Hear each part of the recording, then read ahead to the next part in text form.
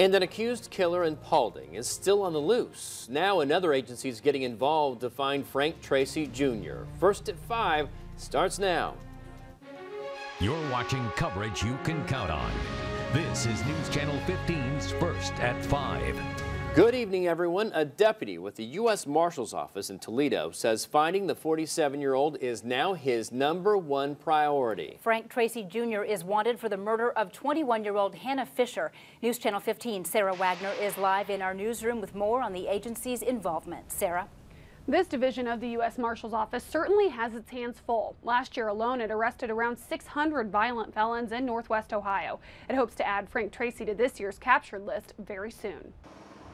Nearly a month ago, a handyman found Hannah Fisher dead inside this Paulding apartment. Authorities say her boyfriend, Frank Tracy, is responsible.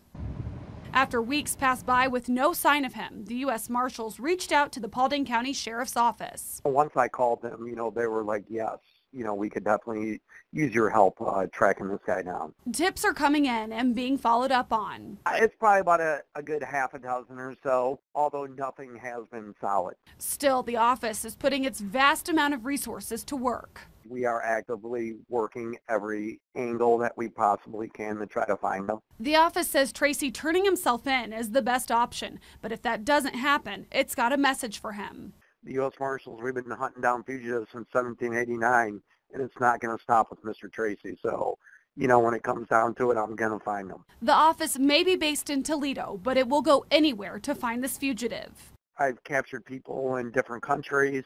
I've captured people that were five blocks away from where things happen. Wherever those leads go, we're coming. With agencies set up across the country, all it takes is one solid tip to find Tracy. If the information leads to the arrest of Frank Tracy, I will pay that tipster $1,000.